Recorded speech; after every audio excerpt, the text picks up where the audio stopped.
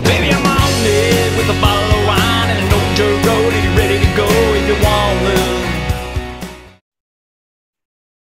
Hey, thanks everybody for joining us today in Live Music Nation podcast. I'm your host, Jake Gill, County Fair Edition. Today we're with Joni from the Chautauqua County Fair. How are you, Joni? Pretty good. How are you? Good. Joni, give us a little background on you. Where were you born? Where'd you grow up? And uh, tell us about your journey to your position with County Fair. Okay. Um, I was born in Oklahoma. I grew up in Chautauqua County, actually. Um, my parents raised both me and my brother here.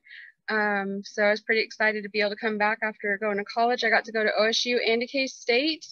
I have multiple bachelor's degrees in the business field. So um, being able to come back home and getting into the community and being able to become the treasurer secretary for the fair has been a pretty awesome experience. I get to use a lot of my um, college experience to help help out our little town and our little itty bitty county down here. Yeah, no, that's great. So walk me through the the process of uh, a cowboy and a wildcat. How'd that happen? um, so I knew I wanted to go to OSU. Um, I got accepted right out of high school, so that was really exciting for me and my family. Mm-hmm. Um, my husband, however, he was going to K State. So after I did some years at OSU, I transferred up to K State to finish out a couple different things. We had a family incident, and so I just transferred up and yeah. got everything taken care of. One one ag school to another. Yeah, yeah, definitely. Perfect, perfect. Okay, tell us um, a little bit about the Chautauqua County Fair and like, what? Give me a visual. What it looks like, uh, when it is, what type of events you have. Gotcha. Um, so we've had the fair since around uh, 1884, so it's been around for a while here in Chautauqua County. Um, we have vendors set up along the midway. We have rides at the end. We've got a barbecue contest. We've got mm. Um, a park right beside us. The rodeo grounds is right beside us. We got the 4-H county fair going on at the same time. Um, we've got our barbecue contest. Uh, it's it's pretty big big thing for us in our little area. Um, our fairgrounds are located just on the north side of Sedan, and Sedan is the county seat for the the county. So. Okay. Well, you you you've got our taste buds going, and uh, we can't uh, we can't argue with that for sure. Tell us a little bit about um, the the ag component, the 4-H component. Um, I'm always interested in the in the production cell or the ribbon cell, whatever you have at the end of the at the end of the week. So tell us a little bit more about the 4-H side. Okay. Um, I I wish I could tell you a whole bunch more. Um, our county fair is set up at the same time as the 4-H and the rodeo, but it's actually three different organizations coming together to make that week happen. Um, they have their own grounds that's right beside ours. It's right, I mean, we're all right there on the same property area. Um, I know that they have big support. We get, um, I, I, know they have a ton of support that comes out. Our county really, really emphasizes our 4 H program that week. They have, uh, oh gosh, I don't even know what all they do. They have their own events going on. They have open class entry um, just for the 4 H kids going mm-hmm. on top of our open class entries.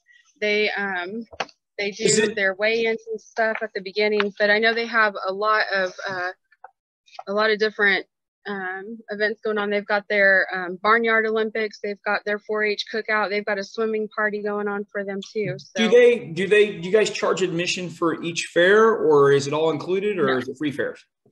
Uh, to get into the rodeo, you pay, but sure. to come to the fair or the 4-H, you do not have to pay. You're welcome to stroll around the grounds. Gotcha. You get to see all the open class for free on both 4-H and on the fair side. So no, that's that's fantastic and, and, a little little unique setup. I think that's the first that I've heard of that as it goes through there. So that's great, jo- Joni. What's what's one of the greatest things that has happened for you and your staff at the fair? I mean, like what are some of the the impactful moments that are, are good memories for you?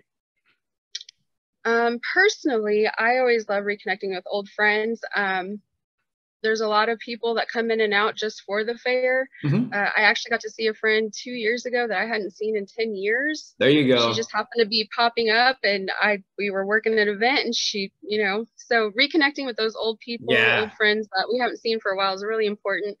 Um, I know getting feedback from the you know, from the community saying like, hey, this was a really cool thing. Can we keep this? Or, you know, like maybe we shouldn't go down that, you know, down that path. Maybe we need to change something up. That's always really helpful. And it's really rewarding to know that something you put so much effort into was worth it at the end, you know, something new because we are a small town, we are a small county, and we really value our traditions. Um, and on that point, something else I don't know if you might have heard of, um, we have a free bean feed and barbecue that our local businesses in the county support. They donate so much money.